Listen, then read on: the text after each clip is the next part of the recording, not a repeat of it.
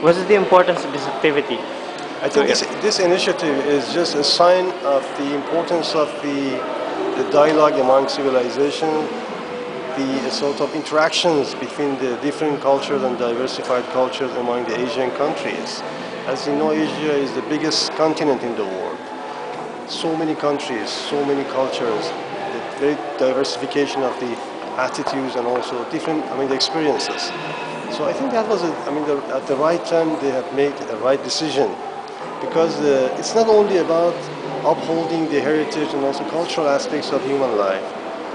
It's, it's, it's a solid foundation of peace and tranquility in the world that we need because we should stick to the points that we respect for the human being. And I believe that these sort of cultural activities, cultural events, and upholding and respecting uh, the essence of the human life is very, very important, important for peace and stability in the world.